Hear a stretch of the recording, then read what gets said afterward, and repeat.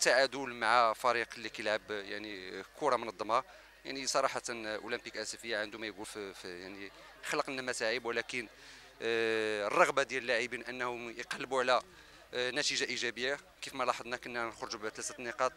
ولكن آه، ربي ما سهلش كنتمنى في باقي الدورات ان اللاعبين يلعبوا بهذه الطريقه يلعبوا بهذا الحماس يلعبوا بهذه الكيفيه لان عندهم من الامكانيات ما يخول لهم باش انهم يكونوا في مستوى آه، كنظن بان في كره القدم النكسات كيكونوا وكنتمناو بان هذيك المقابله الاخيره نتمناو بانها تكون نكسه وهذه بدايه ديال المشوار ديالنا